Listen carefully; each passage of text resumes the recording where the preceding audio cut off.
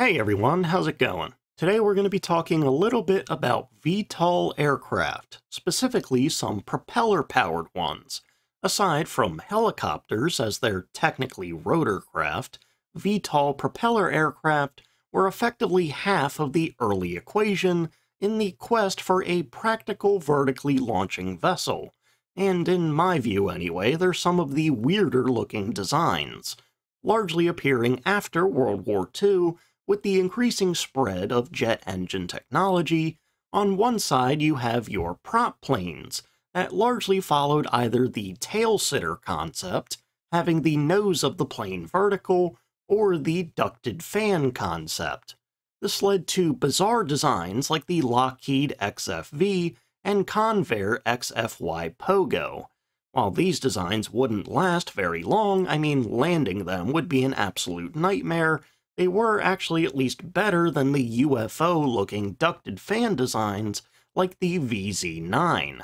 On the other hand, in the jet realm, you did have some tail sitters like the X-13, but the larger direction was vectored thrust, where the thrust of the jet engine could be maneuvered or rerouted to exhaust ports under the plane, thus providing that vertical lift. Then, once airborne, the thrust could be gradually switched back over to the normal rear-facing positions for standard flight.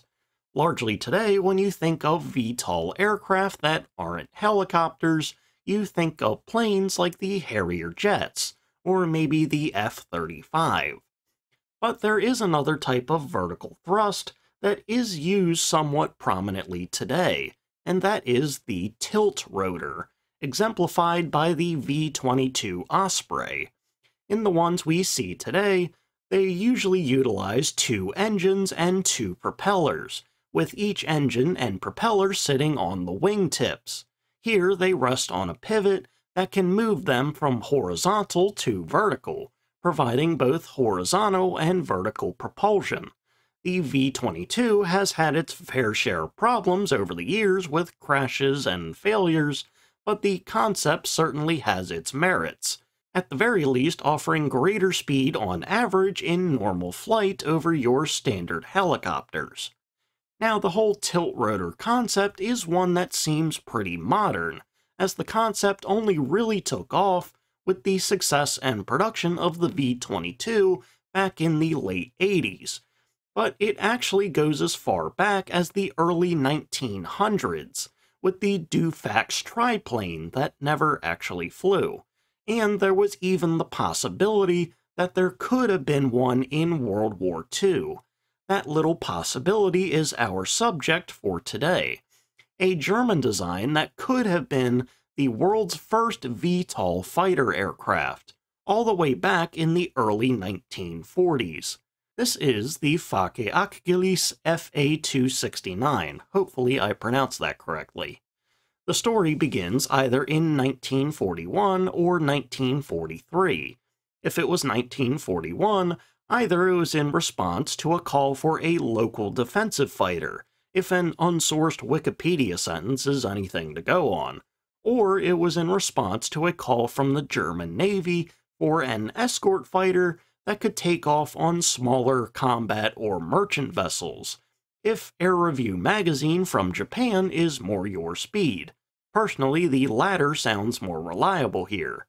If it was 1943, it may have been in response for a call to effectively combine early helicopters and fighters to sort of have the best of both worlds, according to German aircraft of the Second World War. Regardless of the exact origin point when it came to designing such an aircraft, there were only two real options that Germany had. They had Flettner and Focke Achgelis, and I'm going to start saying FA from now on. Flettner was a very small company that was founded by engineer Anton Flettner, and they provided Germany some of their earliest successful recon helicopters.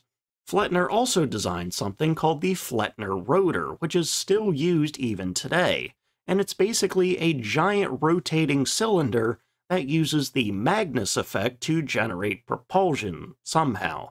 If you see a giant cylinder just sort of sticking out of a ship, it may actually be one of these Flettner rotors. FA, on the other hand, was a company that was started by Heinrich Focke of Focke-Wulf and Gerd Achgelis, a test pilot who had worked with Focke-Wulf. Heinrich was ousted from Focke-Wulf in 1936, which led to him starting a new company that was focused on helicopters. His new company would go on to produce a few dozen helicopters, roughly, in the FA-223, and over 200 rotor kites to be used in spotting enemy ships in the FA-330. I would presume, considering Heinrich Focke's experience in traditional aircraft design and helicopter design, that FA got the job as a result, and a design the FA-269 would be presented either in 1942 or 1943, measuring 8.9 meters long, 10 meters wide, and 3.25 meters tall, the general body design of it was a bit thick looking. This was combined with a pretty standard tail, basic wings apart from the propeller system, and a cockpit canopy that was designed for greater vision to the side, forward, and below. The underside of the nose would be glass as well, similar to bombers. This feature likely wasn't due to them wanting it to be a ground attacker or bomber, though, but rather because its propulsion system kind of forced them to. The FA-269 was apparently to be powered by a BMW 801 radial engine, but personally I think it's more likely that it was to be some kind of liquid-cooled inline engine, due to the apparent lack of air ducts for radial cooling. The engine would be buried in the fuselage behind the pilot, thus giving the fuselage its more bloated shape, and a series of drive shafts and gearboxes would connect the engine to each of the wing-mounted propellers. In the air, each propeller would be behind the wing in a pusher configuration. In the VTOL configuration, the propellers and drive shaft sections would swivel down about 80 to 85 degrees to provide that vertical lift as the propellers and drive shafts would be pointing straight down by probably a couple feet. This necessitated very long landing gear to keep them from hitting the ground. This not only led to some very spindly, clamp design legs, tell me if you understand that reference, but also the under nose glass. That was needed so the pilot could properly see while he was on the ground. Even though the design was to be a fighter as well, the FA-269 would have been armed a bit differently than most German fighters, with two 30mm cannons placed somewhere, probably in the nose or wing roots.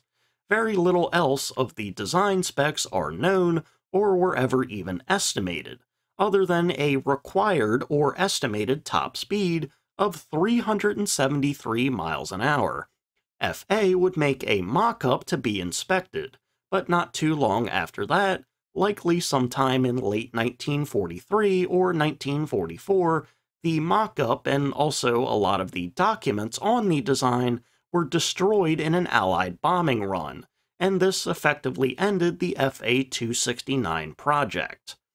Even if it hadn't ended then and there, I do doubt very much it would have been anywhere close to a viable military aircraft. At best, it would have been a technology demonstrator, nothing more. With it being powered by just one engine in the fuselage, there inevitably would have been problems in the series of gearboxes and drive shafts that had to extend through the wings, through the propeller arms, and into the propellers.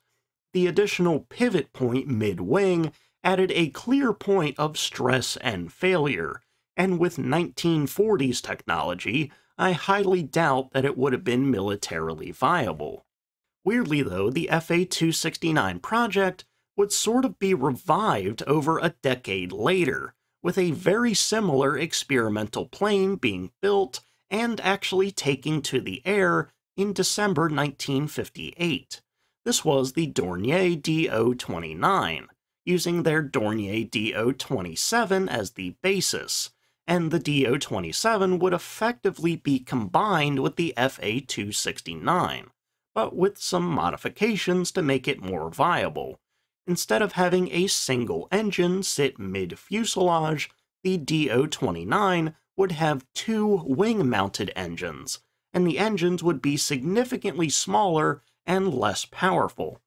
Instead of a 2,200-pound radial engine with 1,500 horsepower, the DO-29 would use two Lycoming GO-480 engines, weighing about 500 pounds each, with just under 300 horsepower apiece.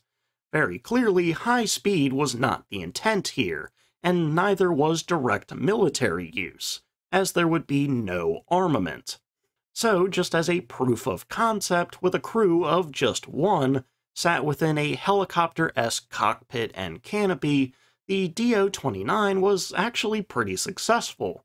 While it wouldn't be tested to perform a fully vertical takeoff, and the maximum angle of the propellers was just 60 degrees, not 80 to 85 like at the FA-269, the testing showed that the DO-29 actually controlled quite well, and had a stall speed of just 15 miles an hour, However, the maximum angle of the propellers was just 60 degrees, as past that there were apparently control issues that made going further just not viable in its current state.